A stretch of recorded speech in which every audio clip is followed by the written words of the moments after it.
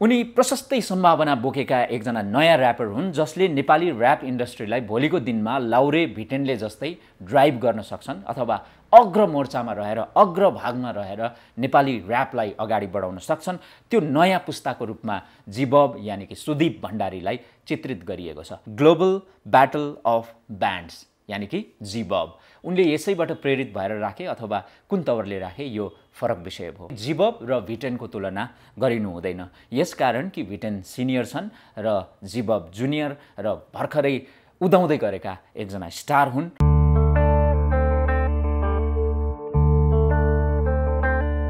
धेरै गरिब भए म त बिछ्यौनामा झुल छैन तिमीलाई मन पराउनुमा मेरो कुनै भुल छैन। ओके भर्खरै यो मैले जुन ऱ्याप जस्तो गरी यहाँहरू समक्ष प्रस्तुत गरेँ यो चाहिँ म आफैले लेखेको एउटा लिरिक्स हो भनौँ या एउटा सायरी हो।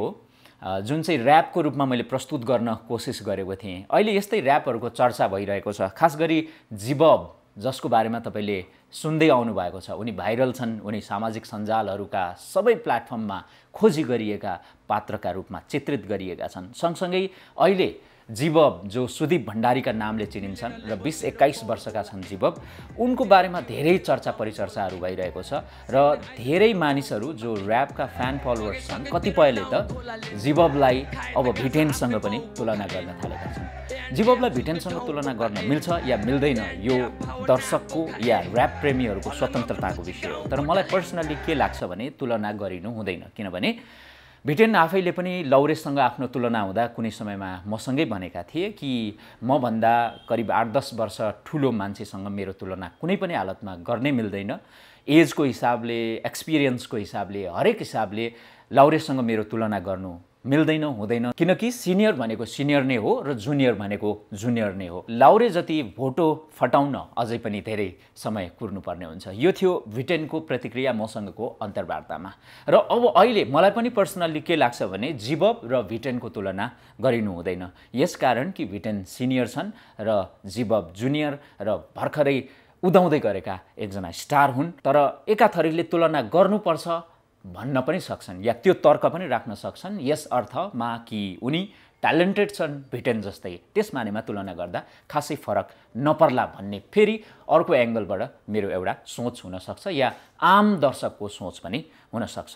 उसो त भिटेनले जति नेपाली ऱ्यापमा करोड क्लबमा गएका धेरै हिट ऱ्यापहरू कसैले पनि दिन सकेका छैनन्। इभन लौरेले पनि भिटेनले जति धेरै गीतहरू निकालेका छैनन् र भिटेनले जति धेरै ऱ्यापहरू जो करोड क्लबमा प्रवेश गरेका छन् दिन सकेका छैनन्। भलै उनीहरूको पपुलारिटी उस्ता उस्तै छ भन्न मिल्छ एक हिसाबले चाहिँ। र अब जिबबको जुन ऱ्यापको एउटा तौर तरिका छ उनको खुबी छ उनको एउटा जुन अहिले चर्चा परिचर्चा छ त्योसँग जोडिएर आएको भनेको सबैभन्दा ठुलो कुरो उनी प्रशस्त सम्भावना बोकेका एकजना नयाँ कलाकार हुन्। अब यो विषयमा म अझै थप चर्चा गर्नेछु। त्योभन्दा अगाडि म अलिकति जस्तो जिबब को बारेमा थोरै चर्चा परिचर्चा गर्न चाहन्छु। मैले सामाजिक सञ्जाल त्यसै गरी गुगल सबैतिर उनको बारेमा रिसर्च गर्दाखेरि अहिले जीवबको खासै बायोग्राफी बाहिर आएको छैन।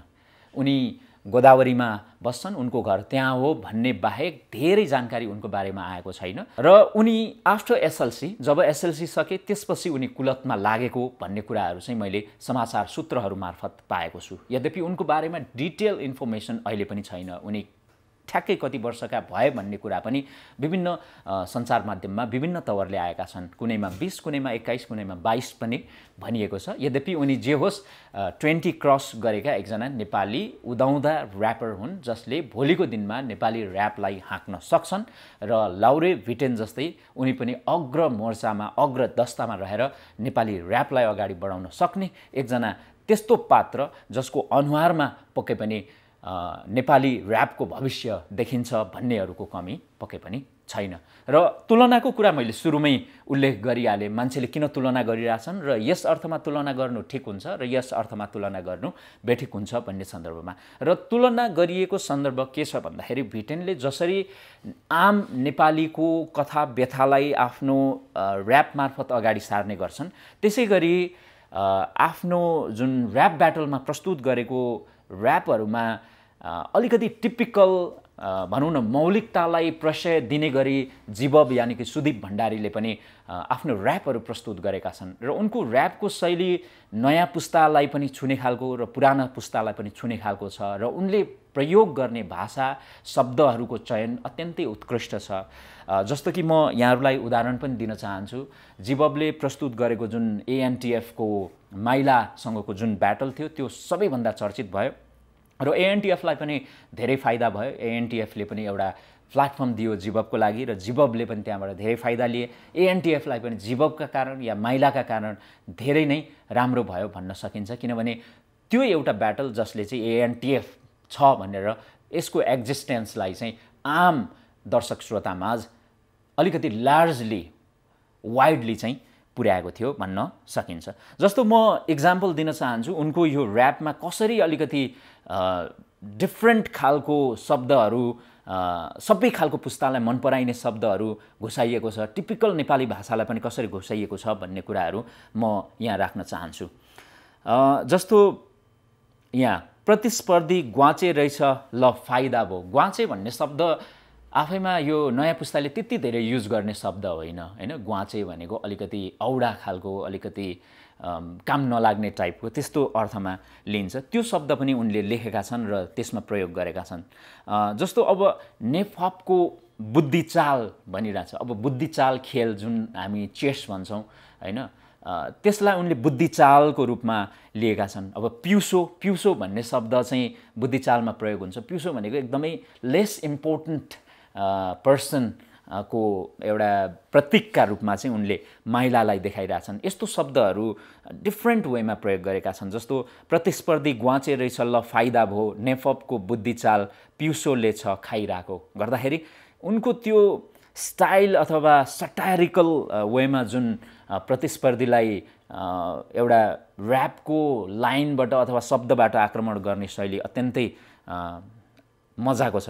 अनि यसैमा जस्तो नेपको श्रिपेच पिउसोले छ चाहिरहेको भन्नाले एउटा जुन मान्छेले चाहिँ त्यसलाई डिजर्भ नै गर्दैन श्रिपेज डिजर्भ गर्दैन जो राजा हुन योग्य नै छैन त्यो मान्छेले श्रिपेज खोजिरहेछ भन्ने सेन्समा उनले शाब्दिक तवरले त्यो भावसहित आक्रमण गरेको थाहा पाउन सकिन्छ।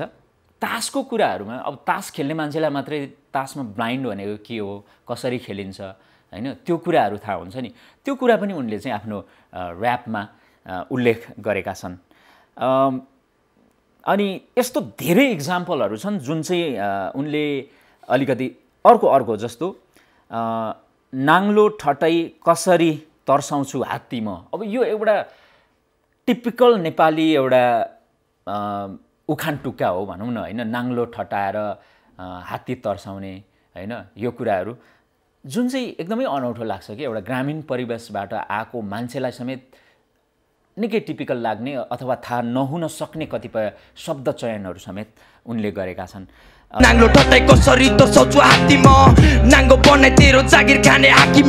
जुन खालको शैली छ यो शैली अलिकति पृथक खालको छ र निकै नै राम्रो शैली भएका कारण पनि उनलाई चाहिँ भिटेनको लेभलमा तुलना गर्न खोजिएको यद्यपि अब भिटेनसँग तुलना हुन अलिकति बेला नभएको भन्ने कुरा त मैले सुरुमै पनि उल्लेख गरेँ। यहाँहरू सबै ऱ्याप हिपहप प्रेमी दर्शकलाई पनि सायद त्यही नै लाग्छ होला किनभने भिटेनले एउटा लेभल बनाइसकेका छन् उनी नेपालका अहिलेका स्टार हुन् र भोलि नेपालको ऱ्याप इन्डस्ट्रीलाई हाँक्न सक्ने र नेपाली ऱ्यापको भविष्यमा उनको चित्र खोज्न सकिने एउटा पात्र पक्कै पनि जीवब हुन् भनेर मात्रै हामीले त्यो तुलनालाई जस्टिफाई गर्न केही हदसम्म सकिन्छ है भन्ने हिसाबले खोजेको हो। र अब अर्को कुलतको कुरा गरौँ। ऱ्यापमा लागेका अधिकांश मान्छेहरू के कुलतमा लागेका हुन्छन् या छन्? यो एउटा गम्भीर प्रश्न हो किनभने धेरैको यस्तो प्रसङ्गहरू आइरहेको छ। यो विषयमा चाहिँ ऱ्यापरहरूले सकारात्मक सन्देश दिन जरुरी छ। हामीले जुन जिबबको पपुलारिटी देख्यौँ त्यो सँगसँगै जसरी उनी एएनटिएफको फाइनल खेल्न आउन सकेनन् र उनी भागेर अहिले कहाँ छन्? रिह्याबमा छन् कि अथवा घरमा छन्? कता छन्? होइन मैले एएनटिएफका फ्यामिलीसँग कन्ट्याक्ट गर्ने कोसिस पनि गरेँ तर म त्यो कोसिसमा सफल हुन सकिनँ। त्यही हो कि एउटा कुलतले एउटा राम्रो कलाकारलाई आफ्नो करियर डाउन गराउने स्थितिमा पुर्याउनु हुँदैन र ती कलाकार जो निकै नै भविष्यका चम्किलो तारा हुन् ती तारा चाहिँ त्यत्तिकै झर्नु हुँदैन भन्ने हाम्रो मान्यता हो। र जिबबले जुन तवरले एउटा पपुलारिटी गेन गरेका छन् र आम दर्शकले उनको कतिपय ब्याड ह्याबिट्सका बावजुद पनि उनलाई उनको कलाका कारण मन पराइएको छ त्यसलाई चाहिँ गिर्न दिनु हुँदैन। उनी जहाँ छन् जस्तो अवस्थामा छन् यदि हामीलाई हेर्दैछन् भने हाम्रो यो सरसल्लाह र सुझावलाई पनि गम्भीरताका साथ लिउन् भन्ने हाम्रो पनि अनुरोध रहेको छ। र अब नेपाली ऱ्यापको कुरा गर्दाखेरि गिरिश खतिवडा र प्रनिललाई हामी भुल्न सक्दैनौँ। त्यसै गरी निर्णय दि एनएसकेलाई हामीले भुल्न सक्दैनौँ र डिए सिक्सटी नाइनलाई भुल्न सक्दैनौँ र अरू धेरै त्यसपछि उदाएका ऱ्यापर्सहरूलाई हामी भुल्न सक्दैनौँ। र नेपाली ऱ्यापको कुरा गर्दाखेरि नाइन्टिन नाइन्टी फोरमा मिनिङलेस ऱ्याप भनेर गिरिसले पहिलो ऱ्याप निकाल्नु भएको भन्ने चर्चा छ। उसो त रतन सुवेदीले सबैभन्दा पहिले ऱ्याप निकालेको भन्ने पनि चर्चा परिचर्चा सुनिन्छ उहाँ चाहिँ कमेडियन हुनुहुन्छ। उसो त नेपालमा ऱ्याप भित्रिएको चाहिँ लाहुरेहरूका कारण धरानमा सुरु सुरुमा जो लाउरे जान्थे उनीहरू आउँदाखेरि क्यासेटमा ऱ्याप अथवा हिपहप म्युजिक प्ले गर्थे त्यसरी सुरु भएको भनेर भनिन्छ। र जे होस् जो अलिकति सम्भ्रान्त वर्गका परिवारहरू विदेश जान्थे र विदेशमा ऱ्याप सुन्थे नेपालमा आएर क्यासेट ल्याएर प्ले गर्थे होइन? उनीहरूबाट चाहिँ ऱ्याप सुरु भएको भन्न सकिने अवस्था पनि छ। र मैले भनिहालेँ निर्णय द एनएसके यसै गरी Girish Khatiwada Pranil Timalsina DA sixty nine लगायत जो सुरुवाती चरणमा नेपालको ऱ्यापलाई अगाडि बढाउनका लागि योगदान गरेका व्यक्तिहरू छन् उनीहरूको नाम हामी कहिले पनि भुल्न सक्दैनौँ नेपाली ऱ्यापको कुरा गर्दाखेरि। र यो इतिहासको चर्चा र नेपाली ऱ्यापलाई योगदान पुर्याउने ती पात्रहरूको चर्चा र योगदानको परिचर्चा गरिसकेपछि अब फेरि जीवबकै कुरा गर्दा उनले यो युनिक टाइटल निकनेम किन राख्यो होला भन्ने सन्दर्भमा सानो रिसर्च गर्दा मैले जीवब के रहेछ भनेर रिसर्च गर्दाखेरि यो चाहिँ अलिकति डिफ्रेन्ट मिनिङ रहेछ। डिफ्रेन्ट भन्दा पनि म्युजिकसँगै रिलेटेड एउटा कम्पिटिसन रहेछ। Global battle of the bands भन्ने रहेछ। जिबबको खास फुल फर्म। उनले यहीबाट प्रेरित भएर राखे अथवा डिफ्रेन्ट वेमा प्रेरित भएर राखे अथवा उनले कुन तवरले सोचे त्यो फरक कुरा हो। तर जिबबको फुल फर्म चाहिँ global battle of the bands भन्ने हुँदो रहेछ। The global battle of the bands is a live music competition joined by bands from all countries around the world.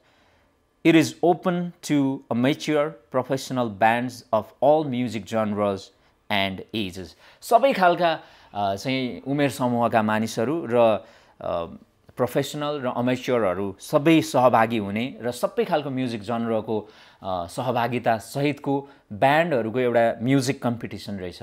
Global battle of bands यानि कि जिबब उनले यसैबाट प्रेरित भएर राखे अथवा कुन तवरले राखे यो फरक विषय भयो तर अन्तिममा हामी फेरि पनि भन्छौँ कि जिबबको अहिले चर्चा परिचर्चा छ। भिटेनसँग पनि एउटा तुलना गरिएको छ कतिपय अवस्थामा। यो सन्दर्भमा हामीले जिबबको बारेमा केही जानकारी दिने कोसिस गऱ्यौँ र जिबब एउटा उदाउँदा तारा हुन् उनी चाँडै अस्ताउनु हुँदैन। नेपाली ऱ्यापको इन्डस्ट्रीमा नेपाली ऱ्याप सङ्गीतको क्षेत्रमा उनले धेरै नाम कमाउन सक्छन् दाम कमाउन सक्छन् र नेपाली ऱ्यापलाई धेरै अगाडि बढाउन सक्छन् जसरी लाउरे भेटेनले बढाएका छन्। जसरी कुनै समय यमबुद्धले यसलाई अगाडि बढाएका थिए। र हाकिम दाईले भने जस्तो यमबुद्धको अर्को रूप बन्न सक्छन् जीवब सुदीप भण्डारी।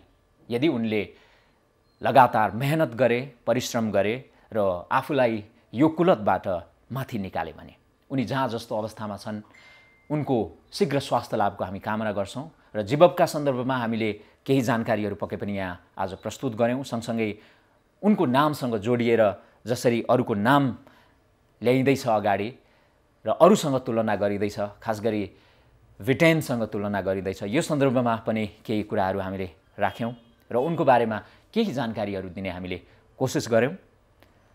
अर्को भिडियोमा हामी जीवबको सन्दर्भमा यदि केही नयाँ जानकारी पायौँ भने थप जानकारीसहित उपस्थित हुनेछौँ। आजको लागि यो भिडियो यति नै। तपाईँलाई यो भिडियो कस्तो लाग्यो? हामीले केही नयाँ जानकारीहरू पनि प्रस्तुत गर्ने कोसिस गरेका छौँ।